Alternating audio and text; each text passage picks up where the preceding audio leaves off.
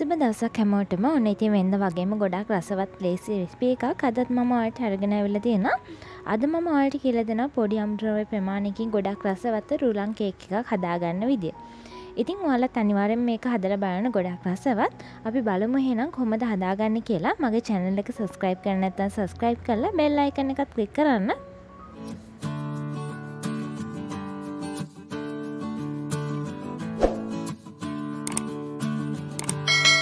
මුලින්ම මේ වගේ බෝල් එකක් අවශ්‍ය වෙනවා. ඒකට මම රුලන් කප් එකක් එකතු කරගන්නවා.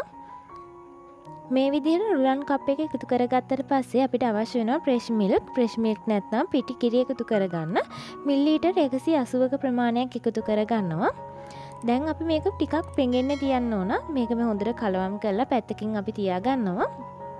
කේක එක හදාගන්න කලින් මුලින්ම අපි කරන්න ඕන මේ දේ. රුලන් ටික හොඳට පෙඟෙන්න පැත්තකින් තියාගන්න එක. ඊළඟට බෝල් එකක් අපිට අවශ්‍ය වෙනවා. බෝල් එකක් අරගෙන ඒකට මම් බිත්තර එකක් එකතු කරගන්නවා. ගොඩක් අය මේක කේක එකක් විදියට අතුරු පසක් විදියටත් භාවිතා කරනවා. දැම් මේ විදිර බිත්තරේ බෝල් එකට කල්ල දාගත්තර පස්සේ මේක හොඳට බීට් කරගන්න ඕනේ.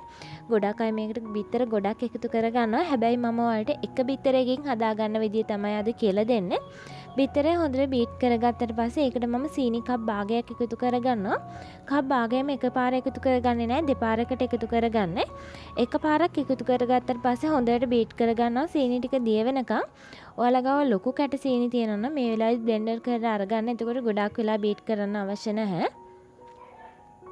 දැන් මේ විදිහට විනාඩි දෙකක් විතර හොඳට සීන් ටික දිය වෙනකම් මම බීට් කරගන්නවා. ඊළඟට මම ඊටු සීන් ටිකත් එකතු කරගන්නවා දැන්. මේ විදිහට ඉතුරු සීන් ටිකත් එකතු කරගත්තට පස්සේ හොඳට ඊළඟ ටිකත් බීට් කරගන්නවා. අනිවාර්යයෙන්ම අපි සීන් ටික හොඳට බීට් කරගන්න ඕනේ. ඔයාලට කැමති නම් මේක චුට්ට ඇඟිල්ල දාලා බලන්න පුළුවන් සීන් ටික දිය වෙලා තියෙනවද කියලා. කැටගතිය තියෙනවා නම් නැවතත් බීට් කරන්න. දැන් ඊළඟට හැමෝගාවම බටර් නැති නිසා මම මේකට පොල් තෙල් එකතු කරගන්නවා.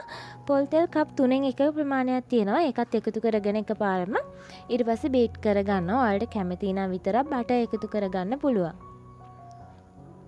මිල්ලීටර් වලින් කෙනා මිල්ලීටර් අසූ පහක ප්‍රමාණයක් මෙතන පොල් තෙල් තියෙනවා. දැන් හොඳට බීට් කරගන්න ඕන. ඒටිකත් මේකට හොඳට කලවම් වෙනකම්. දැම්මම් මේක හොඳට විනාඩි පහක් යනකම් බීට් කරගෙන තියෙන්නේ. ඊළඟට මම එකට වැනිලා එකතු කරගන්නවා තේ හැඳි ඒකක ප්‍රමාණයක්. දැම් මම වැන්ලා ටිකත් එකතු කරත්තට පස්සේ මේක ආයෙත් හොඳට බීට් කරගන්නවා. ඔයාට බීට එකක් නැතම් මේක විස්ක එකක් ආධාරයෙන් කරගන්නත් හැකියාවක් තියෙනවා. එහෙමත් නැත්තං ඔයාට පුළුවන් මේක බ්ලෙන්ඩර් එකේ උනත් හදාගන්න. මේ අමුද්‍රව්‍ය එකතු කරගන්න පිළිවෙලටම එකතු කරගෙන. ඊළඟට මම එකට වියලි පොල් එකතු කරගන්න ඔයාලගාව තියෙනවා නම් විතරක් වියලි පොල් එකතු කරගන්න පුළුවන්. මෙතන තියෙනවා කප් එකක ප්‍රමාණයක්. ඔයාලට කැමති නම් විතරක් වියලි පොල් එකතු කරගන්න පුළුවන්. දැන් ඊට පස්සේ අපි කලින් පෙඟෙන්න තියාගත්තු රුලන් ටික එකතු කරගන්නවා මේකට. එකතු කරගත්තට පස්සේ මේ වගේ විස්ක එකක් ආධාරයෙන් මුලින්ම කලවම් කරගත්තට පස්සේ ඊළඟට මම එක බීටරෙන් හොඳට බීට් කරගන්නවා. රුලන් ටික හොඳටම පෙඟිලා තියෙන නිසා මුලින්ම එකතු කරගත්තාම නිකන් ඝනකම් වගේ දැන්නට ටිකක් වෙලා කලවම් කරගන්නකොට මේක උකු ගතියට එනවා. ඔයාලට ගොඩාක් ඝනකම් වගේ දැනෙනවා නම් ඔයාලට පුළුවන් මේකට කිරි ටිකක් එකතු කරගන්න නැවතත්. දැන් මේ විදිහට හොඳට මම බීට් කරගන්නවා විනාඩි දෙකක විතර කාලයක්. ඔයාලත් අනිවාර්යයෙන්ම වෙලාවක් ආපු ගමන් මේක එක එක හදලා බලන්න ගොඩාක් රසයි. දැන් මම එකට බේකින් පවුඩර් තේ හැඳි එකක් එකතු කරගන්නවා. ඒකත් එකතු කරගත්තට පස්සේ හොඳට බීට් කරගන්නවා. ඉතින් මේක හොඳට කලවම් වෙන තරම් තමයි ගොඩාක් රසවත් කේක් එක හදාගන්න පුළුවන් වෙන්නේ. ඊළඟට දැන් මම මේ බේකින් ට්‍රේ එක හදාගන්නයි හදන්නේ මේ වගේ බටර් ටිකක් ගාලා ඔයිල් පේපර් දෙකකුත් කපාගෙන තියෙනවා. ඒකත් මේක උඩින් දාගන්නවා. ඉතින් බට විතරක් ගාලුන්නත් ඔයාලට පුළුවන් මේක හදාගන්න. මේක එලියට අරගන්න ලේස් නිසා මේ වගේ බේකින් ට්‍රේ මම ඔයිල් පේප දාගන්නවා. මේ විදියට දාගත්තර පස්සේ අපි හදාගත්තු කේක් මිශ්‍රණය මේ විදියට එකතු කරගන්නවා. දැන් මේ වෙලාදි මම අවන් එක ප්‍රීහිට් වෙන්න දාලා තියෙන්නේ සේසේස් සංසක එකසි අසුවට මිනිත්තු විස්සක කාලයක්. දැන් මේ අතරම මම සීනි සිරප් එකක් හදාගන්න හදන්නේ. මේකට අපි ගොඩක් රසවත් කරගන්න සීනි සිරප් එකතු කරගන්නවා. ඒකට මම සීනිකක් භාගයක් ඒ වගේම දෙහි පොඩි පෙත්තක් කුරුඳු පුතු කෑල්ලක් එකතු කරලා එක හොඳට නටවගෙන අරගෙන එනවා. මේක හදන වෙලාවෙදි මේක නටව ගත්තාම ලේසි මොකද මේකට එකතු කරගද නිමෙන්න තියන්න ඕන.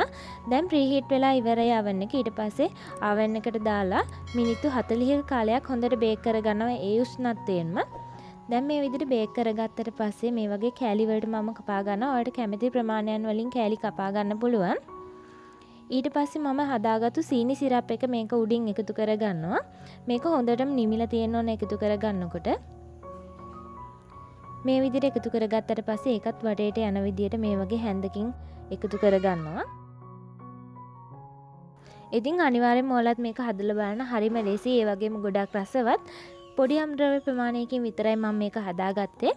ඔයාලටත් පුළුවන් මේ විදියට හදලා මේ කෑමකේ රස බලන්න.